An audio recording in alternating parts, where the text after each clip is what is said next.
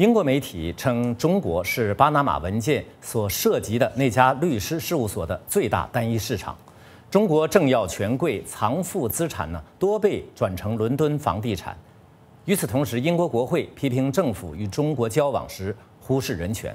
好，我们现场连线美国之音驻伦敦特约记者江静玲。静玲你好，徐波你好。嗯，巴拿马文件呢，在全球引发了震动。啊，英国媒体指称中国呢是莫塞卡冯塞克律师事务所最大的一个单一市场，并且很多资金都流入了伦敦和英国其他城市的房地产，这是怎么回事？给我们介绍一下。啊，好的啊，呃，从巴拿马文件外流以来，英国舆论就点名中国是这个莫塞克冯塞卡呃律师事务所泄密资讯中最大的单一市场。那么，英国的《卫报》今天更在头版报道指出，啊，巴拿马文件显示和中国哈还有香港相关，那么透过这家律师事务所啊，在境外设立的公司，这个数目是高达四万家。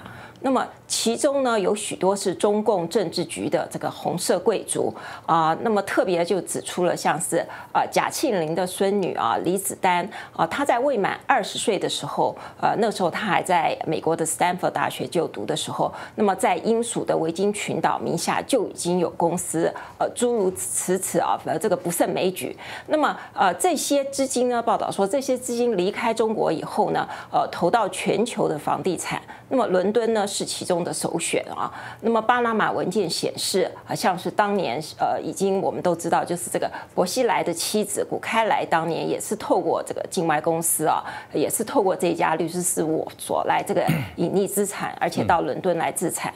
呃，所以近年来呢，这个现象是中国的资金同时转到了呃伦敦之外的英国其他城市，呃像是剑桥还有布莱顿呢，呃可以说把英国的房价推到了当地人已经买。买不起的地步，徐波。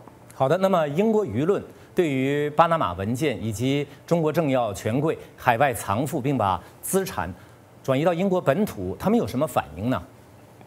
啊，yes，呃，设立在这个境外避税天堂的公司，在英国拥有房地产的价值到底是有多少，一直是个不清楚的谜。那么，呃，伦敦的标准晚报就这么形容，他说，伦敦这个呃泰晤士河两岸啊，早就被境外资金所隐没了。那么，根据卫报呢，这个巴拉马文件外流资料，呃，只显示了说这些房产啊，几乎每十家就有一家和这个莫塞克冯塞卡的律师事务所是有关的。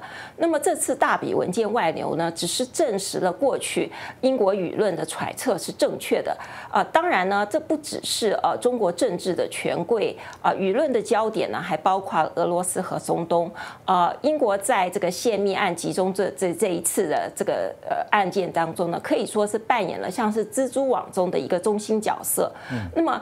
英国的舆论因此批评这个英国政府对流入的可疑资金是视而不见啊。那么也有人建议说，根本就是应该禁止外国人在这个英国置产。呃，所以对于几个世纪以来一直都是全球金融中心的伦敦而言啊，这是一个相当挑战的时刻。徐波。